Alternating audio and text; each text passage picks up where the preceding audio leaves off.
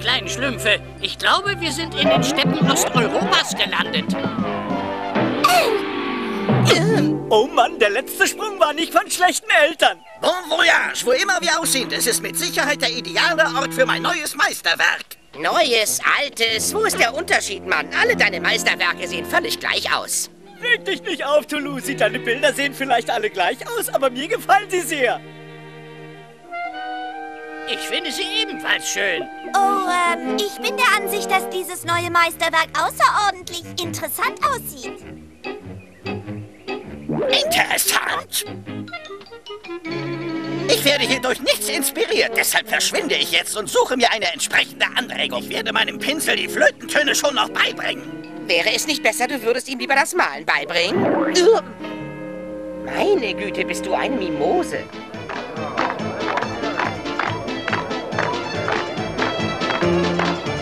Ich hoffe, unser bescheidenes Fest hat euch und eurer Tochter ein wenig Freude bereitet, mein Zar. Sehr nett, lieber Potschki, aber weißt du, ich bin eigentlich aus einem ganz anderen Grund in euer Dorf Blini gekommen. Richtig. Wo ist der außergewöhnliche Maler Ivan Ivanovich und wo sind seine wunderbaren Meisterwerke? Hier bin ich, Prinzessin Blinzes. Und mein Huhn Kiew habe ich auch mitgebracht. Hast du denn gar kein Geschenk für mich, Ivan Ivanovich? Wenn ich mich nicht irre, seid ihr doch nur deswegen gekommen, Zar Peter. Ich kann es nicht glauben. Der Zar nimmt Geschenke von diesem lächerlichen Maler an.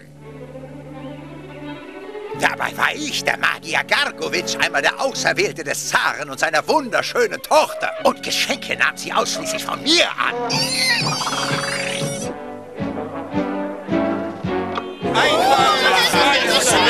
Großartig, du hast es wieder mal geschafft, Ivan.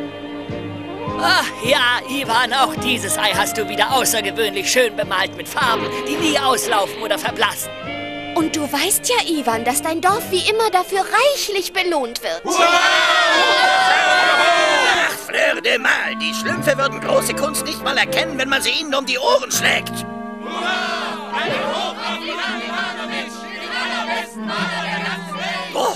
den besten Maler der ganzen Welt, Chateau Lafitte, den muss ich kennenlernen. Für dein wunderschönes Geschenk, Ivan Ivanovich, soll das Dorf Blini von mir, wie auch schon früher, äußerst großzügig belohnt werden.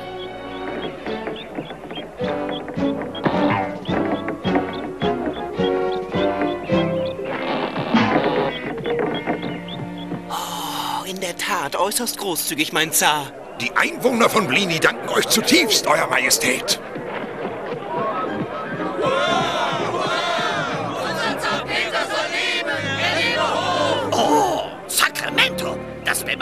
Ist wirklich ein Meisterwerk. C'est magnifique, c'est avant-garde, c'est, c'est... Sag mir, dass das nicht wahr ist, Azraelovic. Der Zar ist übergeschnappt wegen dieses lächerlich angepinselten Eis. Doch mein Zauberstab wird sich jetzt um diesen Emporkömmling Ivan kümmern. Ich schwöre dir, dass dies das letzte Ei war, das dieser anmaßende kleine Mann bemalt hat. So, jetzt zerstöre ich das Talent dieses Angebers. Mein Vater hat dir seine Dankbarkeit für das Geschenk schon erwiesen, Ivan. Ich bedanke mich jetzt auf meine Art.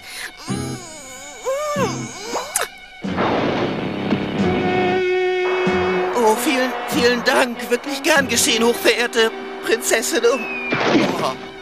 Meine Tochter und ich möchten, dass du ein neues Ei bemalst. Wir werden es gleich morgen früh bei dir abholen. Gut, wie euer Gnaden wünschen, Zar Peter. Wir dürfen keine Minute verlieren. Komm, Kiew, wir müssen ein Ei äh, bemalen. Und ich muss nichts weiter als aufpassen, wie er das macht.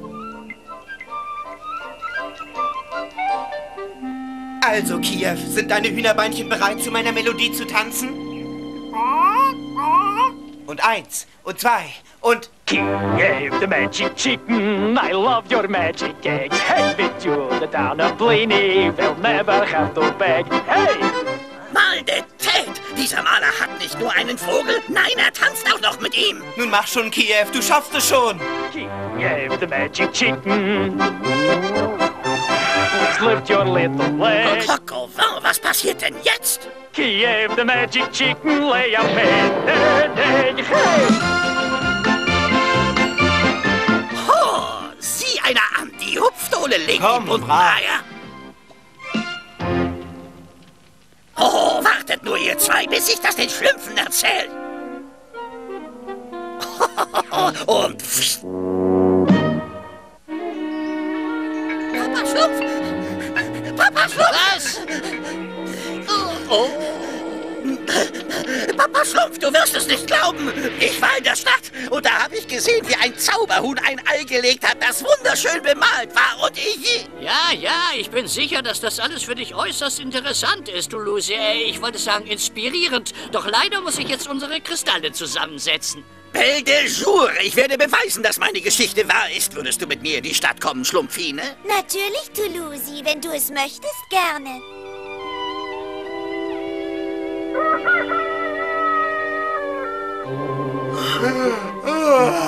Was für ein außergewöhnlich schöner Tag. Für mich jedenfalls. Wenn Ivan mit leeren Händen erscheint, bin ich schon zur Stelle, um die Zaren und die Prinzessin mit meinem Geschenk zu erfreuen. Und welche Prinzessin könnte schon diesem anbetungswürdigen Spielzeug widerstehen? Ich nenne ihn einfach den Zauberer zum Aufziehen.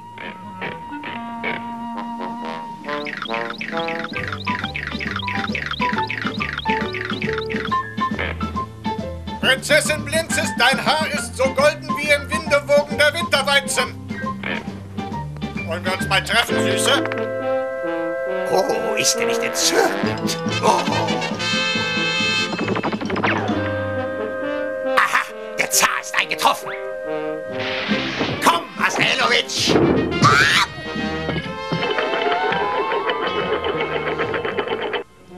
Also, Ivan, hast du uns wieder was Schönes mitgebracht? Nun, ich hoffe, das hier wird euch erfreuen, Majestät.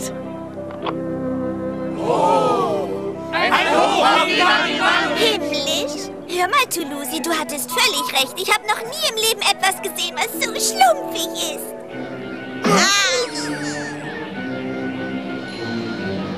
Was ist das? Ich kann es einfach nicht glauben. Mein Zauberstab müsste diesen Sonntagsmaler eigentlich vernichtet haben. Aber irgendwie ist es ihm gelungen, noch so ein verdammtes Ei herzustellen. Doch ich lasse mich von ihm nicht runterkriegen. Ich sorge dafür, dass Ivan den Kampf verliert.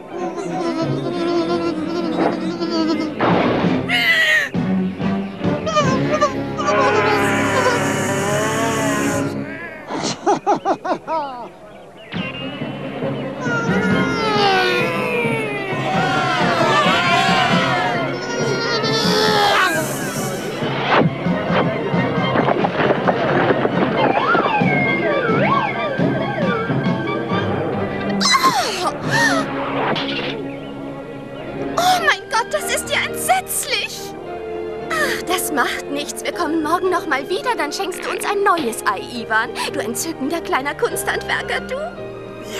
Tut mir leid wegen des Eis, Majestät, aber ich fange sofort damit an, ein neues zu bemalen. Kommt hierher! Wir müssen uns verstecken, Asrelovic!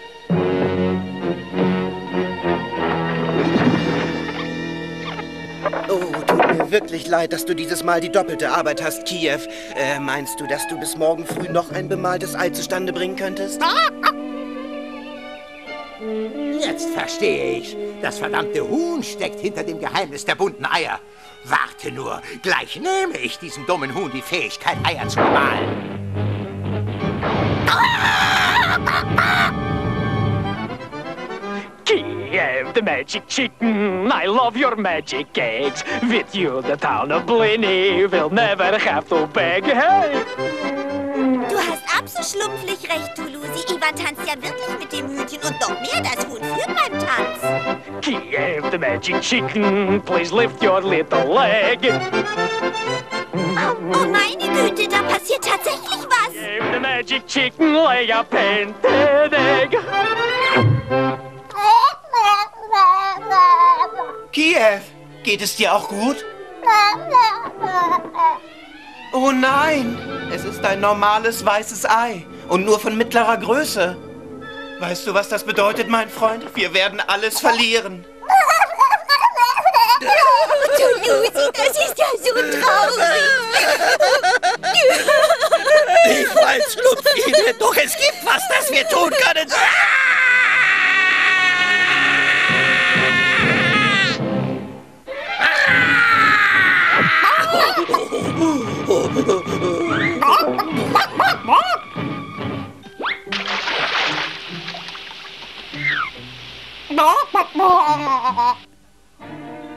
Kiew, ist alles in Ordnung? Komm ihm bloß nicht zu nahe, du, du kleiner Kobold. Kobold? Sacre Blue Jeans. Soll das heißen, dass ich wie ein hässlicher, dreckiger Kobold aussehe? Ah, Du bist also nicht schuld daran, dass es kein buntes Ei ist? So ist es. Wir haben dein Zauberei nicht verzaubert. Wir wollten euch nur helfen. Das ist unmöglich. Es gibt nämlich nur einen Weg, um einem Zauberhühnchen zu helfen. Wir können es nicht, aber wir kennen jemanden, der es kann. Lass mich mal unter deinen Flügel sehen. Hm, steck deine Zunge raus. Ja, so ist gut. So, und nun hüpf auf einem Bein hoch und runter und gacker wie ein Hühnchen. Hm, aha, genau das, was ich mir schon dachte.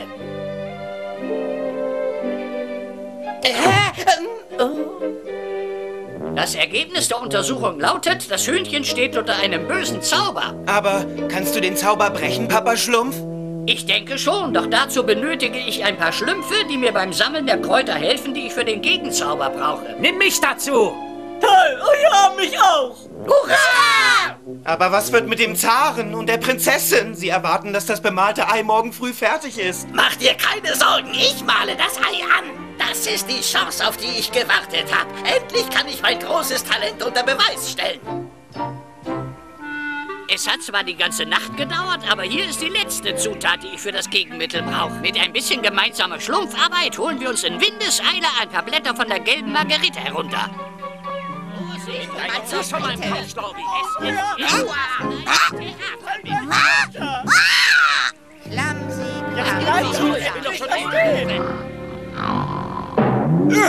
Oh, du verlauster Flohball. Du hast bestimmt eine schlechte Nachricht, wenn du mich so aufwächst.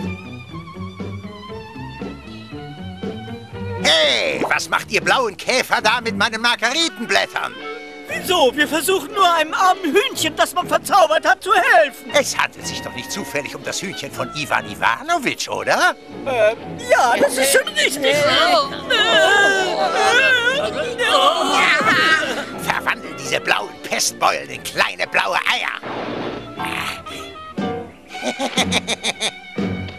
Ach, herrje, ich hol schnell Hilfe.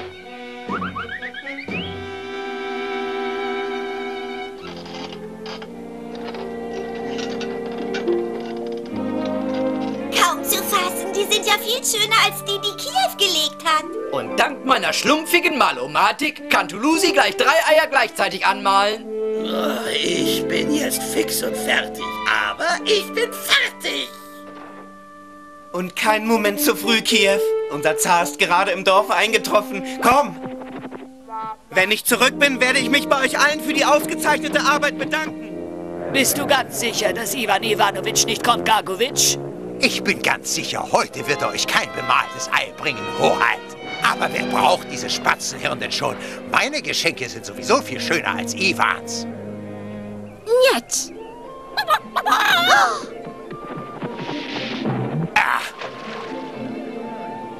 Entschuldigt bitte, dass ich erst jetzt komme. Es hat leider etwas länger gedauert als sonst. Dafür schenke ich euch aber dieses Mal drei Eier. Drei Eier. Ich muss schon sagen, du hast dich selbst übertroffen. Von allen Eiern, die du bemalt hast, sind das die schönsten. Ein Hoch auf Ivan Ivanovic, den besten Maler der ganzen Welt! Hurra! Ivan muss bestimmt noch ein zweites magisches Hühnchen in seiner Hütte haben, aber den Vogel schalte ich ebenfalls aus. Ein Hoch auf den besten Maler der Welt! Hurra! Ha, der betörende Klang des Erfolgs für einen Künstler. Du solltest dich jetzt aber verbeugen. Du hast es verdient. Ja, du hast die drei Eier so bemalt, dass der Zar den Unterschied nie merkt. Sieh einer an, ihr kleinen Babuschkas habt meinem Rivalen Ivan geholfen, hä? Das finde ich nicht sehr gut. Schlupft um euer Leben! Das macht Spaß. Trotzdem kann ich mit den blauen Käfern keine Zeit mehr verschwenden. Los jetzt, Zauberstab! Es wird langsam Zeit, die Regenwolken herabzubeschwören.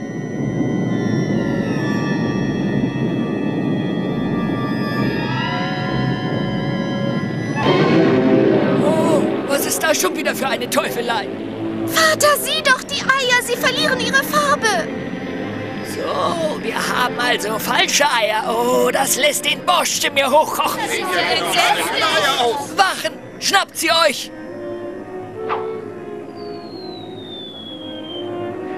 Nein, nicht doch!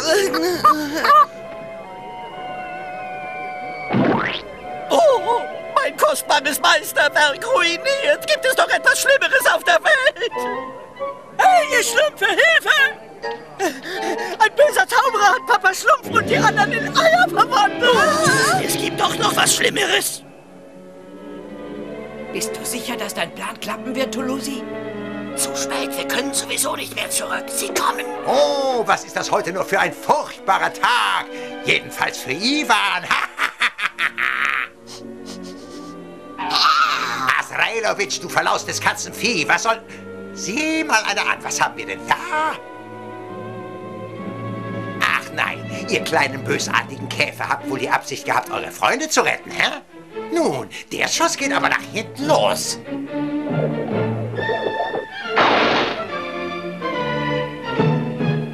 Hey, das sind ja gar nicht die echten blauen Käfer. Und jetzt Mesame sprengt.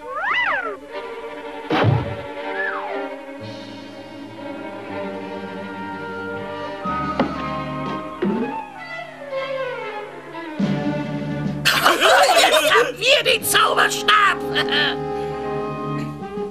Aber wie zaubert man denn mit dem Ding? Oh, das werde ich euch gleich zeigen.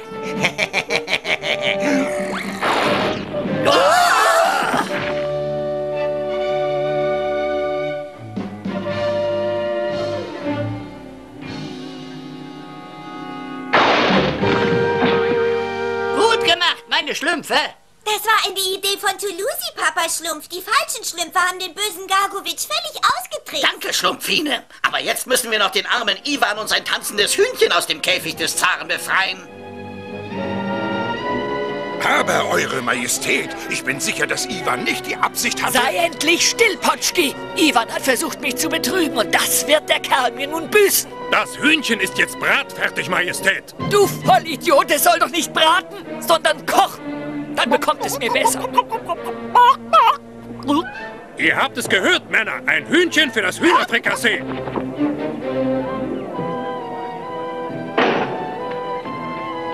Kiew! Oh nein, das alles ist bloß meine Schuld. Kiew! Kiew! Kiew! Kiew! Psst, Ivan, verlier nicht den Mut. Tulusi, Schlumpf. Mein Gott, bin ich froh, dich zu sehen. Sie wollen die arme Kiew kochen und... Keine Angst, wir haben den faulen Apfel Gargowitsch in das verfaulte Ei gezaubert. Seine magische Kraft über Kiew ist gebrochen. Und als nächstes wollen wir dich befreien, Ivan. Ach nein, was haben wir denn hier, hä? Das ist ja unglaublich.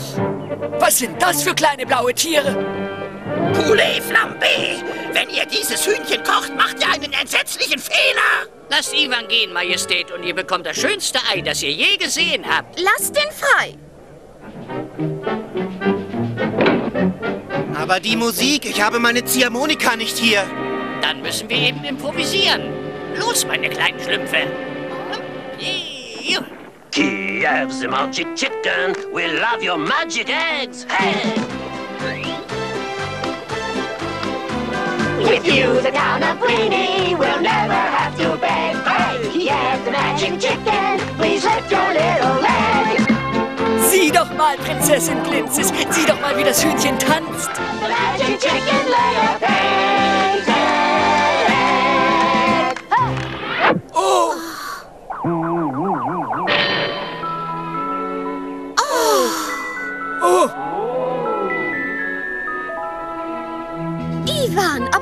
hast du uns denn nie gesagt, dass dein Hühnchen die Eier legt?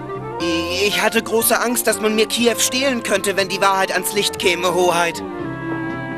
Und das hätte ich nicht überlebt. Schließlich ist Kiew das einzige auf der Welt, das zu mir gehört. Von nun an nicht mehr, mein teurer Sohn. Oh, hast du das gehört, mein entzückender kleiner Prinz Gemahl? Oh,